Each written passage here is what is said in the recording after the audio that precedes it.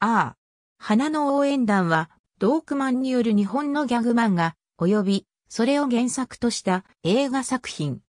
1975年から、双葉社の週刊漫画アクションに連載された、ドークマンの出世作である。1976年12月時点で、単行本5巻までの発行部数は累計400万部に達する。大阪南部の田舎にある設定の架空の大学、南河内大学の応援団を舞台に展開する暴力、下ネタなど過激な内容の多いギャグ漫画である。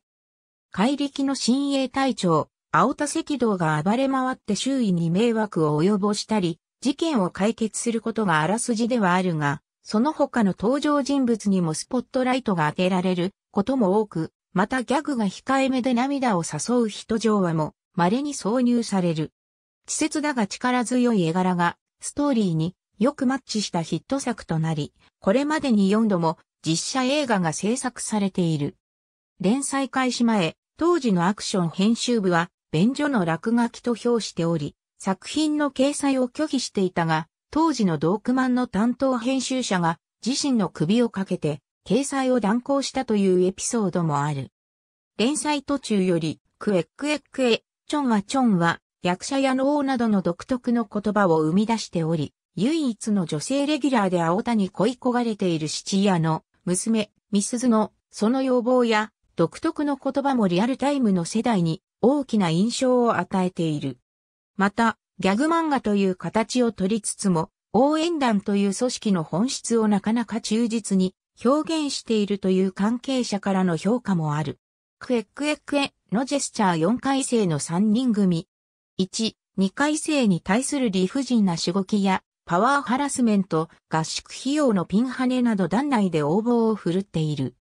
後輩の肩を持つことが多い青田のことは全員で目の敵にしており、事件などで彼に火の粉が降りかかるかと思えば喜ぶほか、一泡吹かせようと画策したこともある。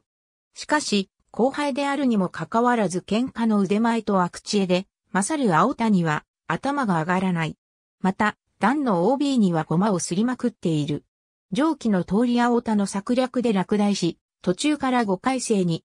2回生1回生1回生1回生空手部、相撲部ボクシング部何は大学南河内大学とは、宿命のライバルにあたる大学。ライバル校の中では最も登場回数が多い。雲流大学菊水大学大創創女子、大学関東大学1975年、週刊漫画アクション10、16号にて連載開始。全3作が日活で作られ、公開された。騙されて無理やり応援団に入団させられた1年生団員の視点で、破天荒な日常と親衛隊長、青田赤道が巻き起こす騒動を綴る。ところどころにお色気シーンも盛り込まれている。いずれも、田中洋蔵脚本、曽根中世監督によるが、青田赤道役の俳優は作品ごとに変わっている。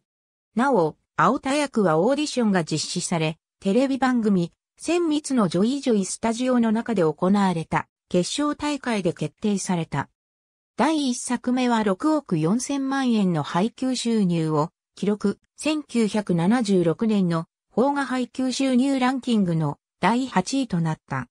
第1作目の観客動員数は220万人で、日活宣伝部によると興行収入は20億円に達する。ネガフィルムは、先の1作目を除きすべてジャンク処分された。池袋の旧文芸映座では、ジャンクフィルム特集が開催され、同シリーズ3作品が一挙公開された。2012年に3作とも DVD 化されている。1996年11月9日公開。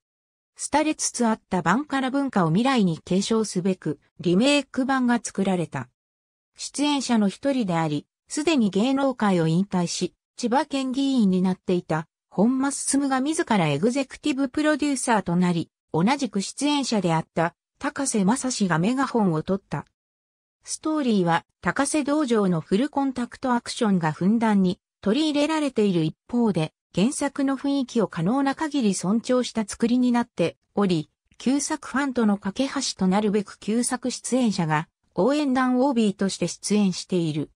出演スタッフは、花の応援団 R。花の応援団南河内大学応援歌ソウルチョンは、ソウルチョンは、役者やのウフトッパラブギフトッパラブギ夕日と団旗。ありがとうございます。